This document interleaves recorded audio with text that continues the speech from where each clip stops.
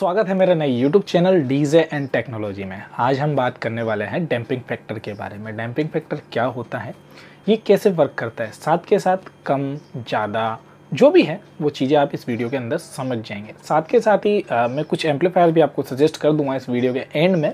हालाँकि मैं उनका पूरा स्पेसिफिकेशन नहीं दूँगा आपको लेकिन आपको कुछ जानकारी दे दूँगा कि आपको एम्पलीफायर कौन सा परचेस करना चाहिए और नहीं करना चाहिए। आगे डिटेली वीडियो आपको मिल जाएगी नेक्स्ट आने वाली वीडियो के अंदर। लेकिन आज इस वीडियो के टॉपिक के अंदर हम डैम्पिंग फैक्टर के बारे में बात करने वाले हैं। तो शुरू करते हैं इस वीडियो को। तो आइए देखते हैं। हेलो दोस्तों, मैं हूँ तुषार और आप देख रहे हैं डीजे एंड टेक्नोलॉजी। अगर आप इस चैनल पर नए हैं तो please like and share and subscribe करना ना भूलें और पास में आ रहे बेल आइकन को भी दबाकर ज़रूर जाए, जिससे आपको मेरी आने वाली वीडियो की नोटिफिकेशन पूरी मिल सके। तो आइए दोस्तों, शुरू करते हैं। Damping factor. सभी का सवाल होता है और सभी को ज़्यादातर लोगों को पता भी होगा कि डैम्पिंग फैक्टर क्या होता है, कैसे वर्क करता है। लेकिन क्या होता है, ये अब आप समझिए। देखिए डैम्पिंग फैक्टर क्या है आपके द्वारा जो सिग्नल रिलीज़ किया जाता है एम्पलीफायर से, पहली बात तो साधारण भाषा में समझा रहा हूँ, समझिएगा, फिर टेक्निकल लैंग्वेज में समझाऊँगा। लेकिन अगर मैं थ्योरिकल भाषा में चल गया तो इस पर आप नहीं मानेंगे, दो से तीन घंटे का वीडियो भी बन सकता है इजी वे में। लेकिन अभी सिंपली हम भाषा में समझ लेते हैं इस चीज़ को। ठीक है दोस्तों? तो सबसे पहली बात तो ये है कि डैम्पिंग फैक्टर के द्वारा जब हम कोई भी एम्पलीफायर से सिग्नल को रिलीज़ करते हैं तो कितने सेकंड में? या फिर मैं कहूँ कितने मिली सेकेंड में वो वहाँ तक पहुँच जाता है और स्पीकर को वर्क कराकर वापस आ भी जाता है। मतलब कि आपने एक पॉजिटिव सिग्नल थ्रो करा, वो नेगेटिव बनकर वापस आपके एम्पलीफायर तक आ गया। अब क्या काम करा इसने? अगर आप लोग समझते होंगे तो समझ चुके होंगे। हालाँकि टॉपिक बोरियत भरा है, लेकिन आपको नहीं समझ में आता तो यहाँ से आप वीडियो छोड़ जा जा सकते हैं, कोई इशू वाली बात नहीं है। लेकिन अगर आपको जानना है, डैम्पिंग फैक्टर क्या है तो सुनिए। देखिए, जब भी क्या होता है कि हम कोई भी एक केबल लेते हैं, हालाँकि डैम्पिंग फैक्टर में केबल का कोई लेना देना नहीं है कि आपकी केबल एक एम की है, दो एम की है, ढाई एम की है। लेकिन मिनिमम आप दो एम या ढाई एम का केबल यूज़ करें तो ज़्यादा बेहतर मानता हूँ। प्लस, अब डैम्पिंग फैक्टर वर्क क्या करता है? देखिए, जब भी आप कोई भी सिग्नल रिलीज़ करते हैं तो पहले हम इसमें टॉपिक में बात करने वाले विदाउट डैम्पिंग फैक्टर एम्पलीफायर की। मतलब कि किसी एम्पलीफायर में डैम्पिंग फैक्टर की फैसिलिटी आपके पास अवेलेबल है ही नहीं। तो वो बात करने वाले हम यहाँ पर। तो देखिए, जब भी आप कोई भी सिग्नल को रिलीज़ करते हैं एम्पलीफायर के थ्रू मतलब आपने कोई भी वॉइस या कोई भी सॉन्ग जैसे आपने हलो बोला या कोई गाना प्ले कर दिया है वहाँ पर तो जब वो सिग्नल एम्पलीफायर से रिलीज़ होकर स्पीकर पर गया तो स्पीकर में के अंदर एक ध्वनि तरंग पैदा हुई, जिससे वाइब्रेशन हुआ पर्दा बाहर आया। ठीक है? अब पर्दा बाहर तो आ गया है, अब इसको अंदर भी जाना है। लेकिन अगर ये अंदर नहीं गया और आपने इसी के साथ इस पर दूसरा सिग्नल भी सिग्नल भी छोड़ दिया तो ये पर्दा जब आपका मान लीजिए, एक अंदाजन एग्जांपल दे रहा हूँ आपको कि 30 हर्ट्स की फ्रिक्वेंसीज पर वर्क कर रहा था वहाँ पर। मतलब 30 हर्ट्स से वर्क करना स्टार्ट कर रहा था। लेकिन अब जब इस पर दूसरा सिंगल सिग्नल चला गया है मतलब पहला सिग्नल तो वापस गया ही नहीं लेकिन अब आपने दूसरा सिग्नल भी छोड़ दिया।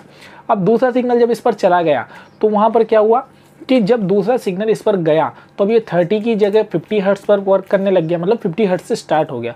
ऐसे कर करके 70, 80, 90, 100 तक जाएगा उसके बाद आपका सॉरी एम्पलीफायर नहीं आपका स्पीकर डिस्ट्रॉय हो सकता है।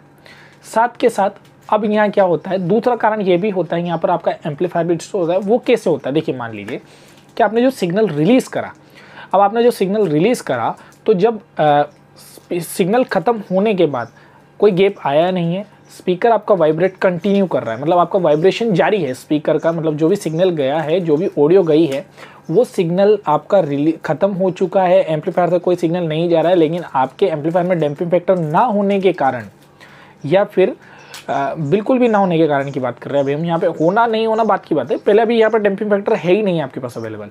ठीक है? तो ना होने के कारण आपके जो आ, स्पीकर है उसका vibration continue up and down है। देखिए जैसे ये स्पीकर है स्पीकर का वाइब्रेशन जैसे ये पर्दा बाहर आ चुका है लेकिन अब ये अंदर तो जा जा ही नहीं पा रहा ये यहीं पर वाइब्रेट कर रहा है क्योंकि इसमें एम्पलीफायर में डैम्पिंग फैक्टर नहीं था। अब जब ये यहाँ पर यूँ वाइब्रेशन दे रहा है तो वाइब्रेशन के द्वारा क्या होता है? देखिए मान लीजिए आपकी एक ईएमएफ या मैं कहूँ कि इलेक्ट्रोमोटिव फोर्स जनरेट होता है या फिर मैं कहूँ एक इलेक्ट्रोमैग्नेटिक फ़ील्ड भी जनरेट होता है। आपने जब भी देखा होगा कि आ, हम जब भी कोई भी वर्क करते हैं या कोई भी चीज़ देख लीजिए आप चुंबक चुंबक और जब तांबा आपस में मिलते हैं आपने देखा होगा जनरेटर के अंदर भी जो फ़ील्ड होती है जब वो राउंड करती है तो वो चुंबकीय क्षेत्र के अंदर ही राउंड करती है तो बिजली पैदा करती है। वैसे ही यहाँ पर जब स्पीकर वाइब्रेट कर रहा है तो एक ईएमएफ मतलब इलेक्ट्रोमोटिव मोटिव फोर्स जनरेट होता है। वो आपको एम्पलीफायर को वापस सिग्नल देता है। मतलब कि आपका, अब वहाँ पर करंट जा रहा है। अब आपका नेगेटिव सिग्नल नहीं जा रहा है, अब आपके एम्पलीफायर में करंट जा रहा है, जिसके थ्रू आपका स्पीकर को डिस्ट्रॉय हो ही सकता है। लेकिन साथ के साथ आपके स्पीकर को भी डिस्ट्रोएशन लेवल पर ले जा सकता है और आपका सॉरी एम्पलीफायर भी डिस्ट्रॉय हो सकता है यहाँ पर। अब चलते हैं, बात करते हैं हम यहाँ पर डैम्पिंग फैक्टर होने पर क्या होगा। देखिए, जब भी आपने कोई भी सिग्नल रिलीज़ करा, ठीक है, मान लीजिए आपने कोई एम्पलीफायर से सॉन्ग प्ले करा है, वो सिग्नल रिलीज़ कर दिया आपने, अब वो सिग्नल रिलीज़ करने के बाद वो सिग्नल पॉजिटिव में तो गया, लेकिन नेगेटिव में आया यही हमारी हर चीज़ में साइकिल चलती है नॉर्मली पॉजिटिव में जाता है नेगेटिव में आता है करंट में भी यही चलता है वोल्ट में भी यही चलता है, सब जगह ये से ही वर्क करते हैं हम। और कहते हैं दुनिया गोल है तो इलेक्ट्रिसिटी भी गोल है और साउंड का फ़ील्ड भी गोल है। अगर कोई चीज़ पॉजिटिव में जा रही है तो नेगेटिव से रिलीज़ होकर वापस आ रही है। ठीक है? अब जब डैम्पिंग फैक्टर आपके एम्पलीफायर में है, ठीक है, वो कितना भी हो 200 हो 300 हो 400 हो 500 हो 800 हो, हज़ार हो 1500 हो 3000 हो, कितना भी हो, वो बात की बात है। मैं थोड़ा सा आगे बताऊँगा इस चीज़ को, लेकिन अभी आपके एम्पलीफायर में अब डैम्पिंग फैक्टर आपके पास अवेलेबल है। अब अगर आपके पास डैम्पिंग फैक्टर अवेलेबल है तो क्या होगा? जो आपने सिग्नल रिलीज़ करा है, ठीक है? मतलब कि अब आपने जो सिग्नल रिलीज़ कर दिया स्पीकर पर गया, अब डैम्पिंग फैक्टर यहाँ क्या वर्क करेगा? ये समझिए। डैम्पिंग फैक्टर जब आपने उस सिग्नल को रिलीज़ करा है तो डैम्पिंग फैक्टर एक नेगेटिव फोर्स को जारी करता है मतलब कि अपने अंदर लेता है। ठीक है? डैम्पिंग फैक्टर का काम यहाँ से स्टार्ट होता है। मतलब पहले तो उसने सिग्नल थ्रो कर दिया, एम्पलीफायर ने अपना काम कर दिया। अब जब वो रिलीज़ होकर नेगेटिव फोर्स से आपके स्पीकर के थ्रू वापस आ रहा है यहाँ पर तो क्या होगा कि आपके पास जितनी भी स्पीकर के अंदर से जो नेगेटिव फोर्स आई अब एम्पलीफायर पे अगर आप मान लीजिए एक नॉर्मल एग्जांपल देता हूँ। आपको मैंने एक 10 किलो का पाटा ऊपर छत से फेंका, ठीक है? मतलब कि ऊपर छत से मैंने एक 10 किलो का या 20 किलो का या मान लीजिए एक पाँच किलो का पत्थर मैंने आपको ऊपर छत से आपके पास फेंका फोर्स के साथ, ठीक है? आपने पकड़ तो लिया, लेकिन आपके हाथ में चोट आ गई। चोट आ गई यहाँ पर। अब चोट आने के बाद आपको क्या हुआ? खून भी आ रहा है, दर्द भी हो रहा है, बहुत सारी चीज़ें हैं। ठीक है? अब इस बात को लेकर हम दूसरी चीज़ कहते हैं कि मैंने वही पत्थर आपको किसी रस्सी से या मैं कहूँ किसी चीज़ से बाँध कर फेंका। That is the damping factor मतलब मैंने आपको उसको डैम्पिंग फैक्टर के थ्रू दिया। मतलब कि प्यार से मतलब तरीके से दिया, जो एक वर्किंग कंडीशन का तरीका होना चाहिए था वहाँ पर डैम्पिंग फैक्टर का। वैसे ही मैंने उस पत्थर को आपके हाथ में रस्सी से बाँध कर कोई भी चीज़ से दे दिया। तो वो क्या हुआ? आपके हाथ में कोई चोट नहीं आई, कोई खरोच नहीं आई, कोई दर्द नहीं हुआ और आपने ईजी वे से उस पत्थर को पकड़ लिया। यही काम डैम्पिंग फैक्टर का होता है। साधारण भाषा में समझाया था, अब टेक्निकली भाषा में समझाता हूँ आपको। जब भी कोई भी नेगेटिव फोर्स हमारे एम्पलीफायर पर आता है तो उसे हम, या फिर पहले बात सुनिए आप, कि जब भी आपने कोई सिग्नल थ्रो करा तो इसको हम टाइम स्मेरिंग कहते हैं, इसके साथ ही इसको रिगिंग भी बोलते हैं, और इसको टाइम मैनेजमेंट भी बोल सकते हैं साथ के साथ ही, कि कोई भी चीज़ का टाइम मैनेज कर रहा है, आपका डैम्पिंग फैक्टर कोई काम नहीं कर रहा है आपके स्पीकर पर जो पॉजिटिव फोर्स जा रहा है, उसको नेगेटिव के थ्रू आने तक वो टाइम फोर्स को मैनेज कर रहा है यहाँ पर, ठीक है? अब काम क्या करा उसने कि आपके जब नेगेटिव फोर्स से जो वोल्ट आया मतलब वहाँ से जो करंट थ्रो होकर वापस रिटर्न आया है, ठीक है? या फिर मैं कहूँ कोई जो नेगेटिव सिग्नल वापस आया है, जो नेगेटिव फोर्स डैम्पिंग फैक्टर ने अंदर जनरेट किया था, वो वहाँ पर आने के बाद एम्पलीफायर ने उसको बड़े प्यार से लिया और छोड़ दिया। मतलब कि तरीके से। जैसे आपने देखा होगा, कभी शोकर आपने देखा है, शोकर हम सभी गाड़ियों में देखते हैं, सब जगह देखते हैं। लेकिन क्या होता है, शोकर दबता तो बहुत जल्दी है, लेकिन उठता बहुत धीरे है। क्यों? क्योंकि उसके अंदर स्प्रिंग लगी होती है। स्प्रिंग का काम यही होता है कि वो pull and out pull out pull in pull out pull in यही काम वो करता है, ऐसे डैम्पिंग फैक्टर करता है। डैम्पिंग ने पुल करा, उधर से आउट हुआ, वापस एम्पलीफायर को आया, लेकिन डिस्टोरेशन होने से डैम्पिंग फैक्टर ने बचा लिया। अब बात करते हैं यहाँ पर हम इस टॉपिक में कि कम होने से क्या होगा और ज़्यादा होने से क्या होगा। फ़र्क किसी से भी नहीं पड़ता है। क्लियरली बात है।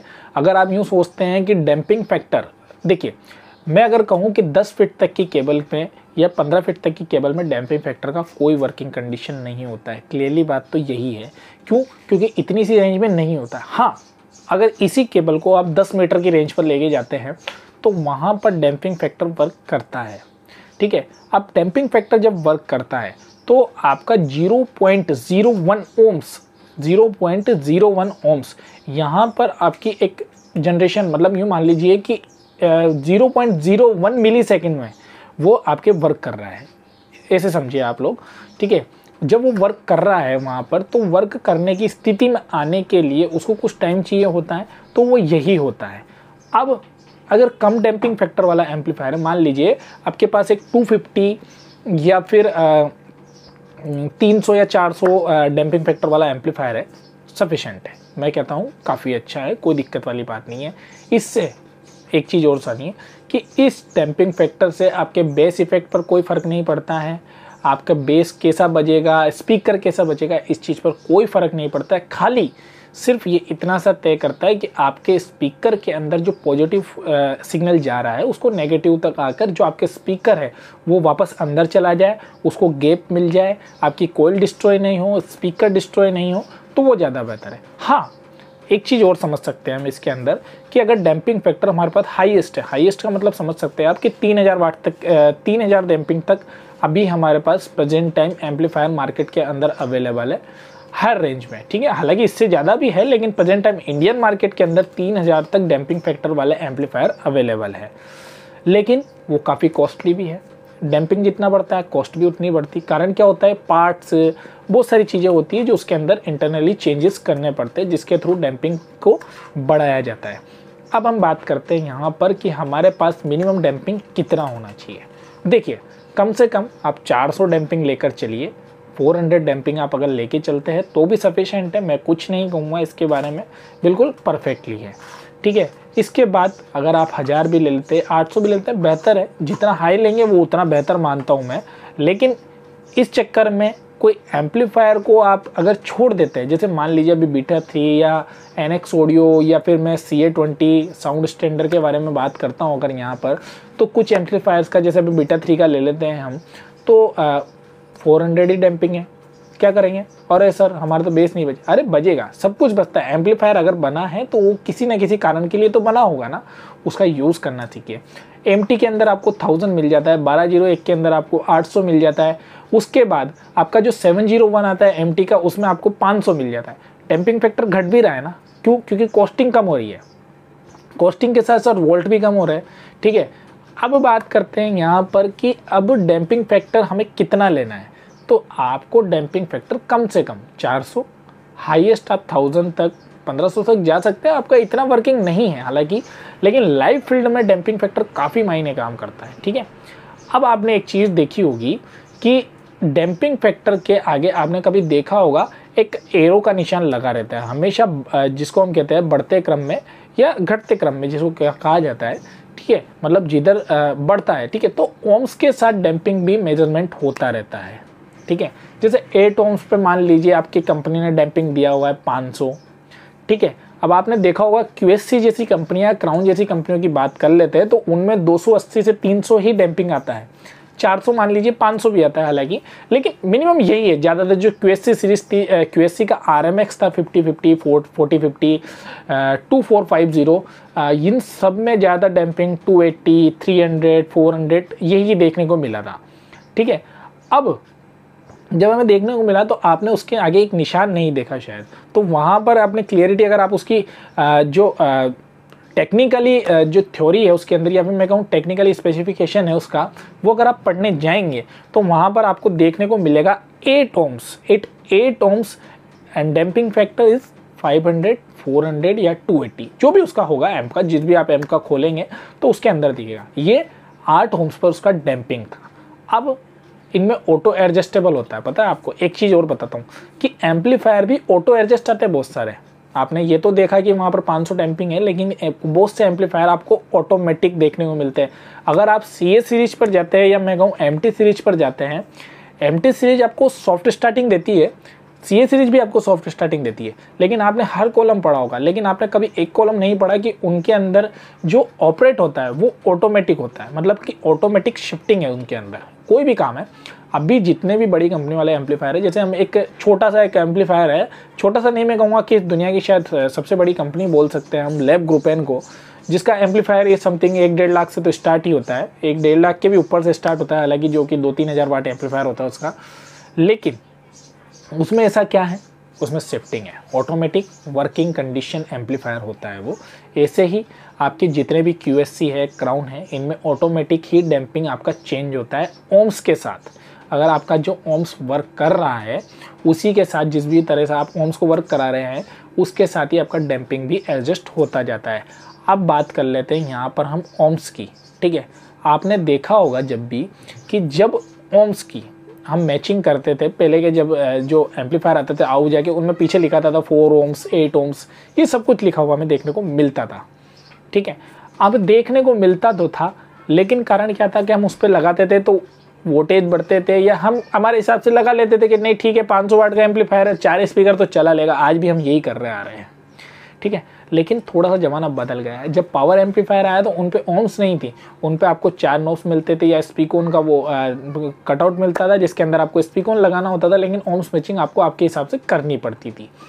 ओम स्विचिंग की बात हम आगे वाले आने वाले वीडियोस के अंदर करेंगे। इसमें छोटा सा टॉपिक था, इसलिए बता दिया है आपको ये। ठीक है अब साथ के साथ ही जो मैंने शुरू में कहा था बेस एम्पलीफायर के बारे में। तो बेस के लिए हम सबसे पहले देखिए, मैं आपको कहूँगा कि आप सी ए सीरीज़ पसंद कीजिए। एम टी सीरीज़ पसंद कीजिए। एम टी में आप सोलह ज़ीरो एक, बारह ज़ीरो एक ले सकते हैं। हालाँकि सोलह ज़ीरो एक का डैम्पिंग फैक्टर आपको थाउज़ेंड वाट मिल जाता है। ये ब्रिज मोड पे एट एट ओम्स बयालीस सौ वाट निकालती है। फोर ओम्स पे बावन सौ वाट निकालती है ब्रिज मोड पे, ठीक है? ना पैरेलल और स्टीरियो की बात नहीं कर रहा हूँ, मैं यहाँ पे ब्रिज मोड की बात कर रहा हूँ। स्टीरियो मोड की बात करते हैं हम अगर तो स्टीरियो मोड पर एम टी सोलह ज़ीरो एक सत्रह सौ प्लस सत्रह सौ देती है, फोर ओम्स पर बाईस सौ पचास प्लस बाईस सौ पचास देती है, और टू ओम्स पर तीन हज़ार प्लस तीन हज़ार देती है। अब तीन हज़ार प्लस तीन हज़ार देती है आपके।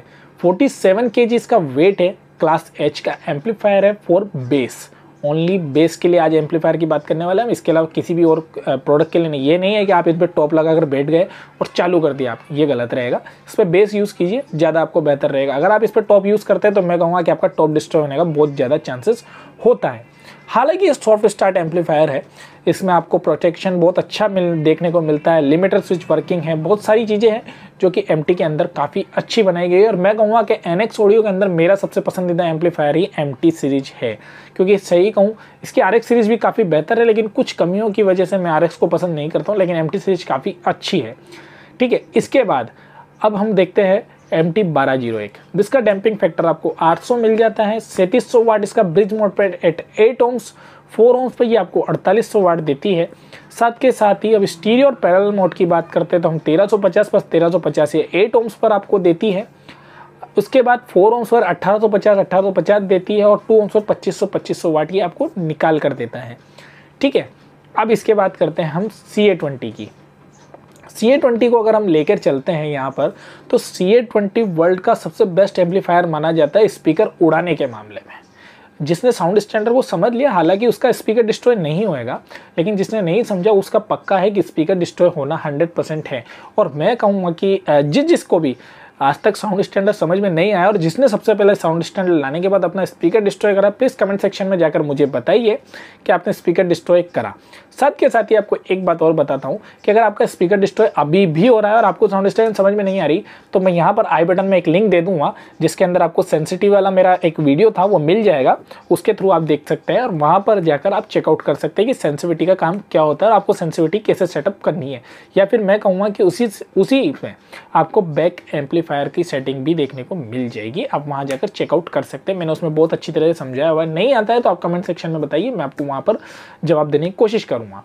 ठीक है, साथ के साथ हम बात कर लेते हैं सी ए ट्वेंटी की सी ए ट्वेल्व की और एक एम्पलीफायर और आता है यहाँ पर क्यूएससी का R M X fifty fifty A या फिफ्टी फिफ्टी जो ओल्ड मॉडल था फिफ्टी फिफ्टी अभी नया हाल है हालाँकि, लेकिन दोनों एक ही है थोड़ा सा मॉडल में चेंजेस करा गया है। हालाँकि क्यूएससी ने ये एम्पलीफायर बंद कर दिया था, लेकिन इस एम्पलीफायर के बाद ही क्यूएससी का नाम मार्केट के अंदर आया था तो अब बेहतर है कि आप क्यूएससी के इस एम्पलीफायर को खरीदे।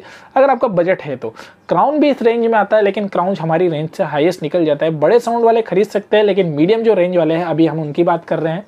बड़े साउंड वाले क्राउन को अच्छी तरह जानते हैं four zero zero two six zero zero two X T I series है।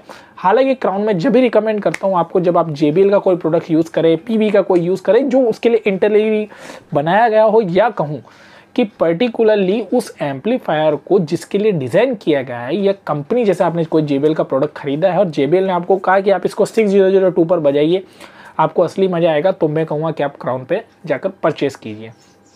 दूसरी बात कर लेते हैं सी ए ट्वेंटी की। सी ए ट्वेंटी एम्पलीफायर बहुत बेस्ट है। कोई दिक्कत वाली बात नहीं है। आप ले सकते हैं और इशू भी नहीं है इस चीज़ का। सी ए ट्वेल्व भी ले सकते हैं। इस पर भी बेस बूस्ट कर सकते हैं आप, कोई दिक्कत नहीं है। लेकिन सी ए ट्वेल्व पे मैं आपको कहूँगा कि आप टॉप भी रनिंग करा सकते हैं। कोई इशू नहीं है। लेकिन सी ए ट्वेंटी पे आप टॉप रनिंग मत करवाइएगा। काफ़ी दिक्कत हो सकती है और आपका स्पीकर डिस्ट्रॉय हो सकता है। तो दोस्तों, ऐसे ही देखते रहिए और ऐसे ही प्यार देते रहिए।